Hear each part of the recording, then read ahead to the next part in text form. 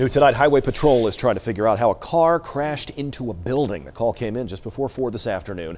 Troopers responded a couple of hours later at AHM Automotive, which is on East Martin Luther King Jr. Drive in High Point. Investigators say the driver hurt his nose and had some bruises.